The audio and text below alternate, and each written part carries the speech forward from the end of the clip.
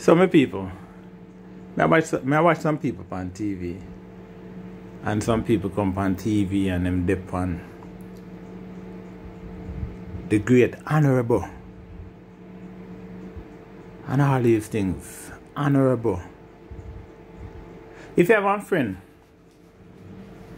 and your friend do something where you not like, you still call him your friend. If you know one man and you'd have highly respect for him and him prove that him not deserve that, would you still call him sir? Tell the truth, me not even call you. Hey, me have some people where I, me like to give people them respect. And to call somebody where is, uh, you know, a big person and call them without putting on the sir or the miss or the ma'am, you just feel a way of doing it. But when a person don't deserve it to be called, me not gonna do it. Me have a neighbor who give me hell, as I talk about in one of my videos. When me call out to him, when he give me hell, me not call him by sir. Call him by last name, straight last name.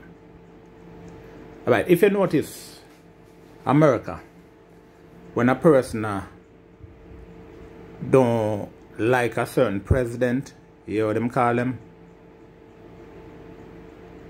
You never notice how some people call Obama Obama. Then I say President Obama. Some people call, right now some people call President Biden Biden. Some people call Trump Trump. Because they not agree with that president. So them call him that way there. So you have some look at idiot no way. Then depend the great honorable. Alright, so you got a court. and yeah, try for the judge. Yeah, give the judge the most respect. So yeah, try to make him, you know, ease up on you. And when he slap you with a sentence, what you didn't expect. Trust me, the honorable gone at the time, you know, the sir gone, you know. He gone. You know, I call him that again. Some bad word you want to start cuss.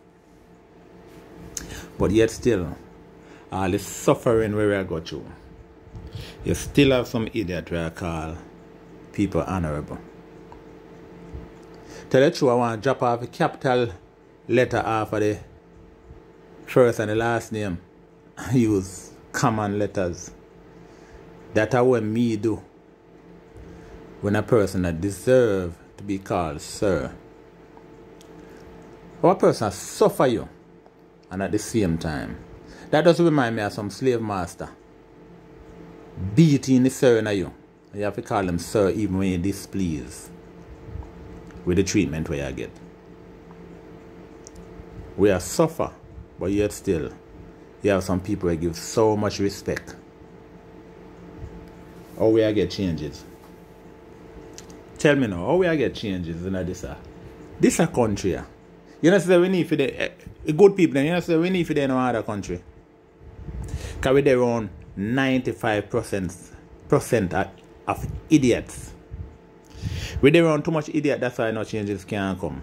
Honest, honest. I'm being honest. That's why no changes can't come because we have too many senseless people in Jamaica. Yeah? No sense. No matter how the whipper touch them, they're still talking about sir. And a slavery, you know. We're not in a slavery. Eh. So, changes will never come. Unless God say, yo, alright, it's just too much idiot down there. I will just step in and help them. So, that's my two cents. So, what I always say, my people, be blessed. One God.